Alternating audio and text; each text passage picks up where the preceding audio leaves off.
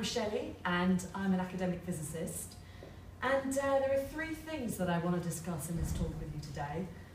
The first one is, from my perspective, what's going on in science right now, and my very personal feelings about why it's incredibly important that we get on with this disruption business. And um, there are two perspectives on this. Um, the second thing I want to talk about is ways that we can begin nucleating disruption from within the scientific establishment as it currently stands.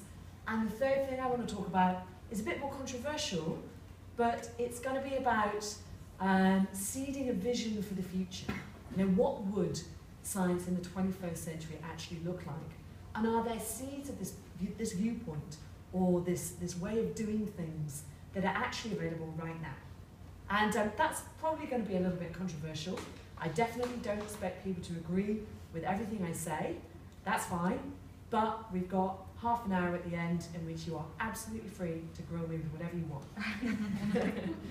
so I'm going to start with why I think disruption desperately needs to happen.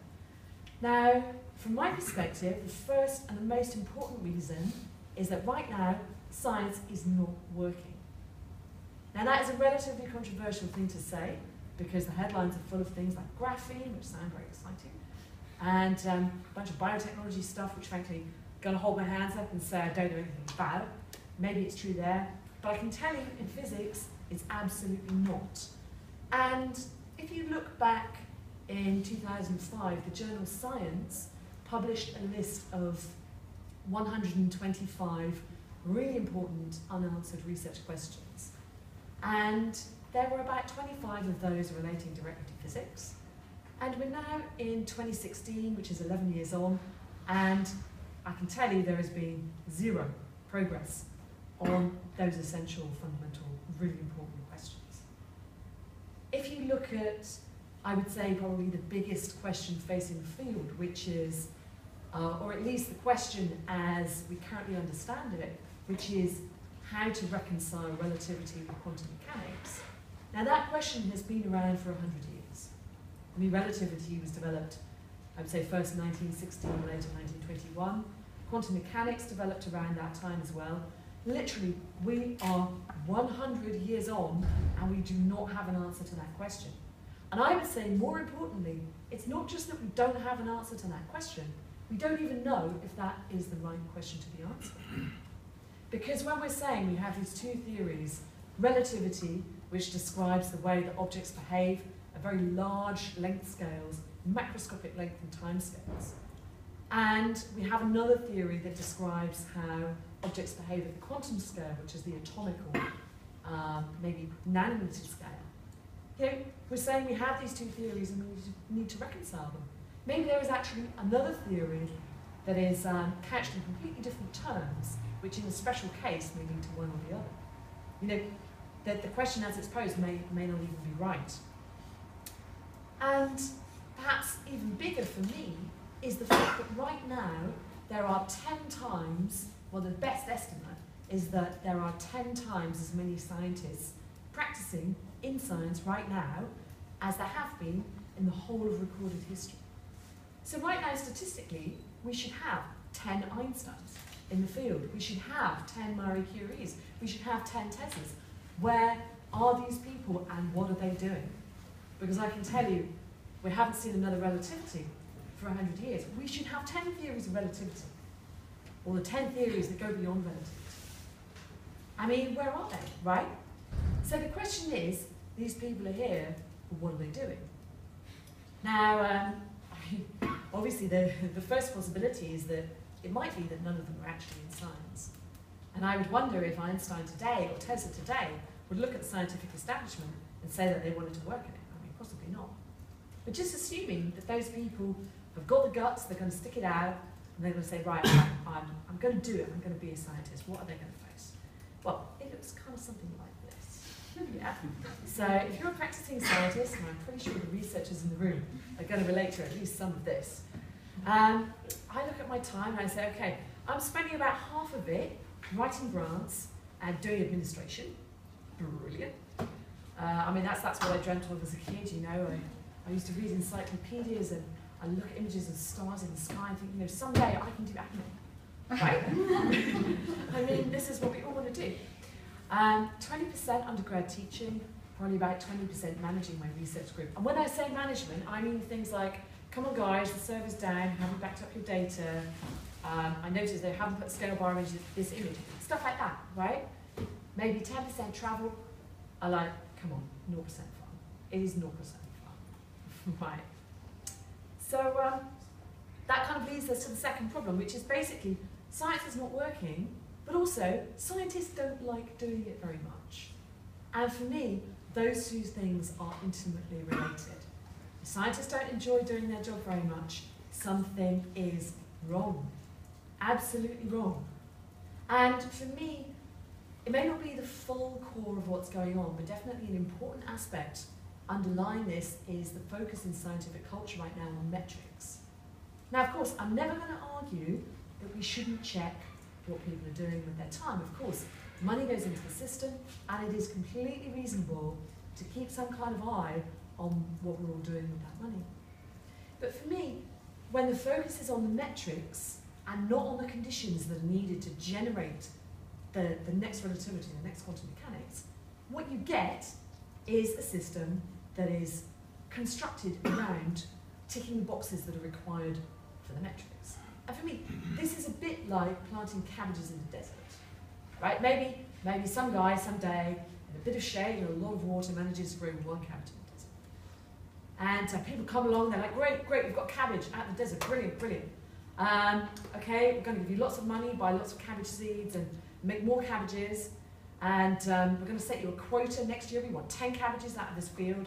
And we, we want an accounting for every single cabbage seed you plant, right? And nobody actually says, well, you know, cabbages don't grow very well in the desert. Cabbages grow pretty well in Norfolk, where it is cold, wet, and muddy, which is what cabbage is like. And um, for me, this is a lot like the conditions that are needed. This is, this is a lot like what, what we actually need to genuinely make science work, to really make it fun. Okay? Because, I mean, scientists right now are in a system which treats them as though they're working in a big accounting firm. Right? You don't get good cabbages by planting them in the desert. You've got to plant them in a place where the conditions are ripe for them to grow and to meet their fullest potential. I'm working in a field where the only way to make progress is to have incredibly bright, radical, revolutionary ideas, and you do not get ideas when you are spending your life doing administration, management, and box ticking. Okay? So the big question for me is how can we, how can we turn that around, and what happens when we try? So, starting in my own small corner of the world, I, um, I say, well, um, where, where, can I begin? What's the most exciting place to start? So what I've done is uh, I've noticed that undergraduate teaching is a place where metrics are particularly prevalent, where there's a lot of pressure to uh, conform to the student satisfaction survey. Um, I, get, I get every term, the students are given a long list of surveys and boxes they've got to fill out. And a lot of courses are aimed at trying to kind of squeeze into students' expectations. I thought, right, okay, what's going to happen if I throw away the metrics and I just say, what's actually fun? What, what do I find fun? What do I find engaging? So um, what I've done is started off by scrapping the idea of a lecture and beginning with what I feel is going to be more interesting to me, which is to start off by having some discussion of the content and then the rest of it being a series of questions where the focus within the course is as much on the questions as it, as it is on the predefined answers. And at the end of every lecture, we also have a discussion about what isn't known. So the focus is also on what isn't covered, what isn't known, what isn't addressed by the current theories. So when the students leave, they leave with a perspective of what do we not know? What is it like to construct a good research question? And they've also had the opportunity to look at the material from a lot of different angles. Um, I also lecture in a dinosaur suit occasionally. uh, sometimes it's in a, an LED hat, and it depends what I feel like on the day. But it'll be something that's not expected, something where they walk into the room and they just do not know what is going to happen next. And it is that atmosphere of we don't know what's going to happen next. Questions. Let's come up with our own ideas. What do we not know? We could be the people to fill these gaps in the scientific knowledge. And not a single mention of a metric. And not surprisingly, it turned out to be the highest rated course of the year. So that's one example. Um, another example is uh, coming from a slightly broader perspective, which is to do with how research is funded. Now, um, those any those of you who have any involvement in um, the whole uh, the whole funding game will know that there's a, a lot of uh, a lot of weight is placed on the possible outcomes and the possible impact of your research, despite the fact that the grant may last two to three years, when it takes maybe 20 years to bring technology from you know, the first germ of an idea to out there in the marketplace. So the time scale's a little bit short, you know. But um, when it comes to grants being funded, a lot of funding bodies will put a lot of pressure on researchers to report frequently, to have a lot of milestones, to say exactly what will be accomplished in advance of each of these milestones, and then there'll be a check-up at the end to make sure that you did what you said you were going to do three years ago. And it kind of, it's a structure that actually eliminates the possibility of something creative happening within those three years that you had not previously thought of. And um, it's kind of, it, it's, it's almost counterproductive in the sense that, yeah, you've almost structurally eliminated the possibility of something new that is better than you'd previously thought of coming into being, being explored and being, being disseminated. So um, there was actually a study done in the USA which started to look into this issue a little bit. And what they did was they took uh, biomedical investigators who are very good, a good track record, and they compared two funding schemes. Now, again, the purpose of this comparison was to try and distinguish what influence it had when you took one funding stream run by the National Institutes of Health, which was conventional, uh, there were a lot of metrics, you had to submit reports frequently, follow a well-structured plan of research, and um, submit your outputs at the end, all well-structured in advance. And there was a comparable scheme running for five years, the same length of time, uh, funding the same group of people, but this time funded by somebody called the Howard Hughes Institute, who ran things very differently. And what they said was, we want you to do the most creative work that you can do. We're not going to ask for a sort of pre-scheduled plan of work. We just want a page about your research intentions. And we want you to report every year telling us what you've been doing. Tell us about the exciting things that you're coming up. And then at the end of those five years, it turned out that the investigators funded by the Howard Hughes Institute, who had the same academic achievement as the ones funded by the conventional route when they started, they produced twice as many high impact papers in journals like Science and Nature, which we can say is, is arguably an indicator of what is genuinely disruptive in the field. So, to me, that is a quantitative, evidence-based example that when you take the focus off the metrics and you let bright people do what they do best without being sort of squeezed to death, the outcomes are twice as good as they would be otherwise. So, I mean, I hope I've given you both a personal example and a, a broader example of why it is better to focus on the conditions that give rise to good science than it is to focus on counting style metrics that we're trying to use to define it at the end. So then for me, this is bringing up a lot of questions about how we might do science differently in the future. Now, I mean, the ancient Babylonians, I felt, had a really good point. Whenever they started a new enterprise, they would, uh, they would basically um, begin by consulting an astrologer to find the right time and the right energy to start off a new, a new way of doing things. So for me, I don't actually believe that we are going to be able to see real disruption within science coming from within the current system, because that's been that's in existence already. There is a solid structure, and it's like sitting on an elephant. You're just not going to get that elephant to change direction very quickly anytime soon. You want to go somewhere new, you want to get there fast, you get off the elephant, you get into the Ferrari. So for me, what I'm interested in is finding environments that have the right kind of culture, the right kind of energy that will then be taken forth into um, science as we know it. And um, I think the best place I've encountered so far is a little participatory festival in Denmark called Borderland, which I would say is Burning Man 2.0. and everything in this festival is done for the following reason, because it's fun.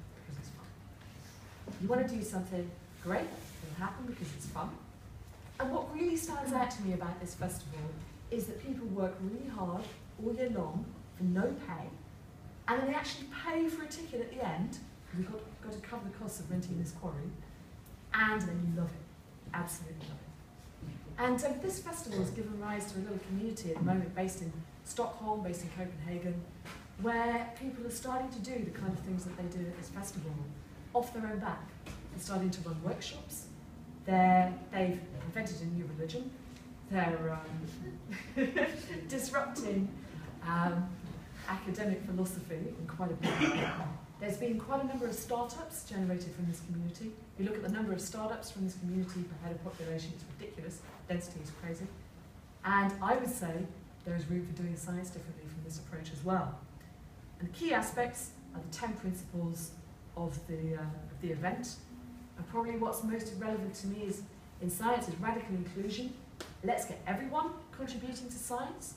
The idea that the only people who can contribute to science are the ones who studied for seven or eight years, I think is bunk. Uh, radical self-reliance. Come on in, take care of yourself, contribute wherever you can contribute. Communal effort, let's do this as part of a community.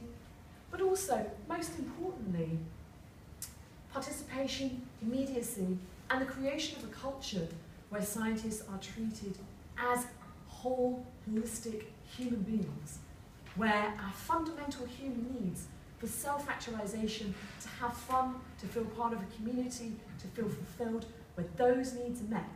Because creativity and creation is something that happens at the top of Maslow's pyramid of needs, you know?